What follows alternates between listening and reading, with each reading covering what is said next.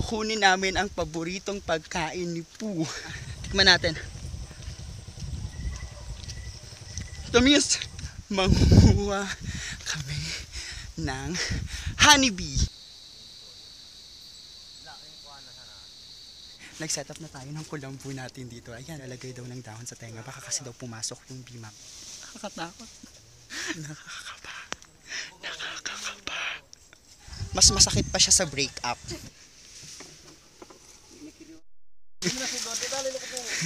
Lam pala na ni. Oo, ito na, nagbulos na po. Uyan o sa ibaba, sulog o. Nagbulos na. Yan o, ilan may ligsa na. Mura naman ligsa. Hello mga plastic! Hello mga plastic! Hello mga plastic! Hello mga plastic!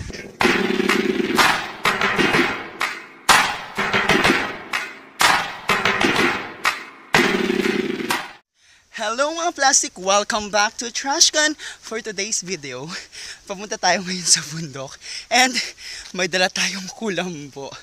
Bakit nga ba may dala tayong kulambo? Hindi dahil malamok sa bundok. Pero given na yon, malamok talaga sa bundok. Iba yung higal natin. Kaya tayo may dalang kulambo.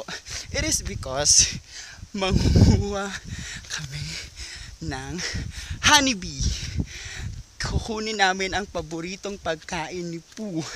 So, samahan niyo ko. Huwag kayong aalis. And sana, hindi tayo makagat ng pukyutan. Kasi sobrang sakit nun. Last time na kumuha kami ng mga honeybee, bata pa kami, yung kapatid ko si May, nakagat sa noo. So, kinagabihan, nilagnat. Ganon katindi yung kagat ng pukyutan. So, alam naman natin ang sarap. Maraming health benefits ang honeybee. Pero, pahirapan ng pagkuha nito. So, samahan nyo ko. Huwag kayong aalis. Diyan lang kayo. Ayan na yung mangunguha ng honeybee. Ang dami nila. So, pupunta na kami ngayon sa bahay ng pukyutan para makuha yung matamis na honeybee. Dala-dala ko pa rin yung kulambo. Tayo magtatago mamaya kung sakaling mabuwag na yung honey. Ay, yung mga bee sa loob nun. Pahirapan. Lalim. So, ayan na sila guys. Siguro nagpaplano na.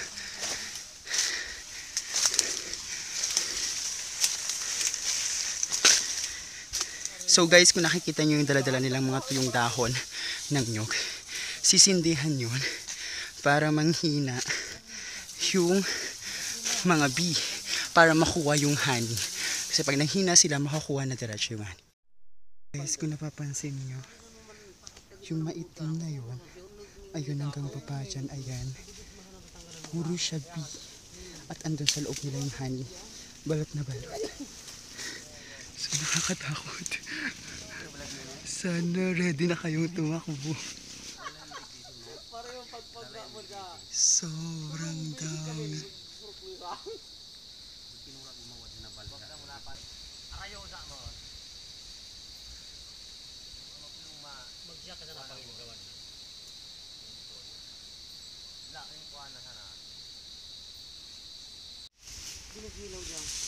Ipiprepare na sila para makagawa ng apoy. Guys, ayun. So guys, ayun, nagtatawanan kasi nga, naghahanap sila ng volunteer kung sino daw yung kukuha ng honey mamaya. So walang nagvo-volunteer kasi nga, napakasakit talaga ng kagat ng mga binato. So, lahat natatakot kung sino nga ba mag-volunteer na kukuha. Dapat daw matangkad yung kukuha. So abangan natin mamaya. Sino nga ba yung kukuha ng Nakakatakot. Pwede na yung kulambo. Kanya-kanya ko rin pasari dyan. Yung sigana ni Mano yun. So ito na nga guys, dahil nag, parang magsisimula na sila, nag-set up na tayo ng kulambu natin dito. Ayan, kung napapansin niyo yung kulambu natin dito. Mamaya pag nagsitabuhan sila, dito tayo pupunta. So para hindi makapasok yung mga bee. Kasi sobrang sakit talaga niya mga gat. Natatakot din naman ako. Pero hindi natin mapagkakala, masarap talaga yung honey at maraming health benefits yon. So, papakita ko sa inyo kung paano mamaya kukunin at paano mamaya magsisitakbuhan yung mga tao dito. Sabay-sabay tayong tumawa at baka umiyak din mamaya. Honey bee. Ayun. Ang dami. So ito guys, napapansin nyo, may dala kaming balde. Pag umalis na or napukaw na yung mga bee, ito yung lalagyan natin ng honey bee. So, sana mapuno ito. Feeling ko naman, mapupuno ito. Ayun pa rin. Doon sila. Ayun sila guys. Nagpe-prepare na sila. Ayun guys, tinuruan nila kami. Sabi nila maglalagay daw ng dahon sa tenga. Baka kasi daw pumasok yung bee mamaya. Mas, mas lalong malala. Mas lalong masakit siya. So gaganunin natin yung dahon. Tapos ilalagay natin. Para pag nagsitakbuhan na, nagsiliparan yung bee, hindi makapasok sa tenga. Ayan, prepare na tayo. Ready na ulit.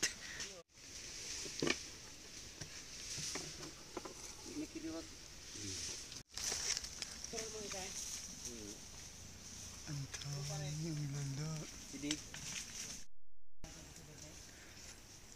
Oh my God guys, kinakabahan na ako. Nag-start na sila. Nakakakaba. Nakakakaba. So ayun sila.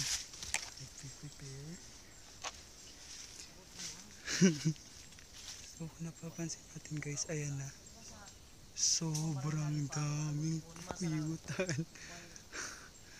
so parang madami din ang honeybee nito. Ayan. So ayan na guys. Ayan na yung mga puyutan. Sobrang dami. Takagin na lang. Okay guys, time check. 6.17 na PM. So, nagsisimula na sila kasi sabi nila paggabi daw hindi masyadong makilos yung mga bubuyog para makuha ng tama yung honeybee. Nagsisimula na silang magsunog doon.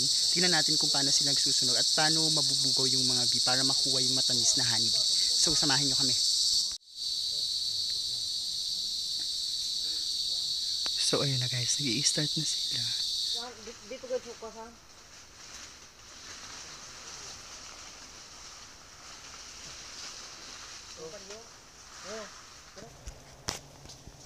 Kung naririnig niyo yung mga sounds na yan, yan na yung mga. So, nabulabog na sila.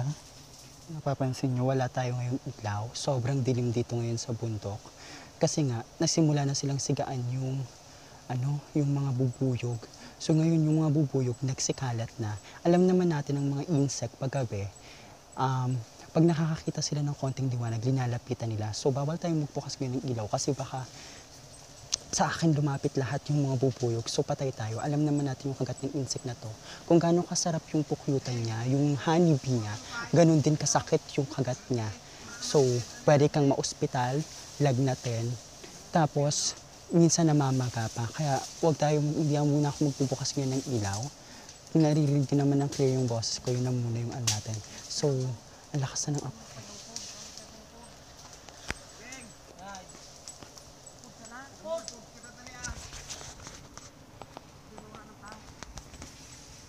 Ayun guys. Ang lakas ng apoy dun.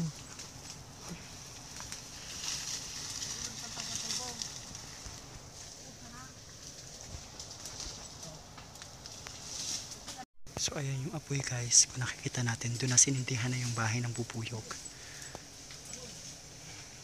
Baka makita nila ilaw ko, papagalitan ako. Sinindihan na yung bahay ng bubuyog. So nagsikalat na yung mga bubuyog. Nakakatakot. Ayun na guys. Meron na sila. Aligisan na ako. Ayun na. Ayun na guys, nakukuha na nila yung yung matamis na honey. Ayun na, ayun na. Nakuha nila.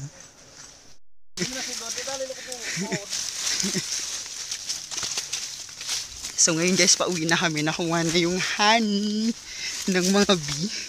So pahirapan.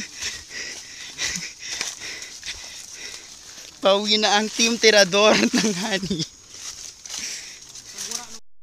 Ang daming honey. Sarap. Kulun.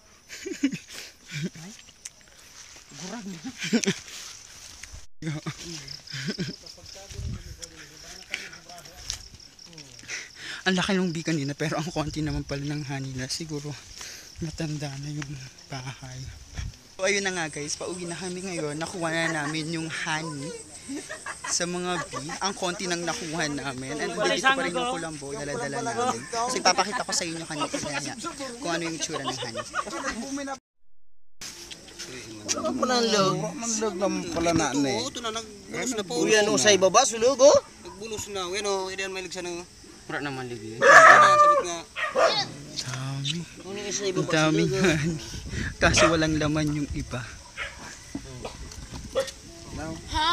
Yan yung manoy, sulog sa ibaba. Di pa ako ang pinig. Panamit. Di pa ako pinig. Hindi, ano ba di? Ano sa dua? Pag ano? Ito na sana na iyo. So, ayan nakakuha tayo ngayon ng honey. Ngayon titikman natin kung masarap ba talaga yung honey na to. So guys, ito na yung honey kanina. Titikman natin kung matamis nga ba yung honey. Kung masarap nga ba. Tikman natin. Tamis! Sarap! Tamis! Ang sarap!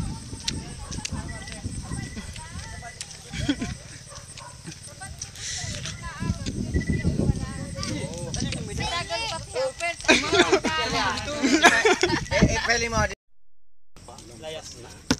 Hmm. So na, Ito na yung mga tirador. Okay guys, alas 7 na ng gabi nung natapos yung pagkuha. And andito pa rin yung kulambu natin. So nagamit siya kanina. Lalong lalo na nung hindi natin na-documented. Hindi fully documented yung nangyari kanina. Kasi nga, hindi tayo pwedeng magbukas ng ilaw.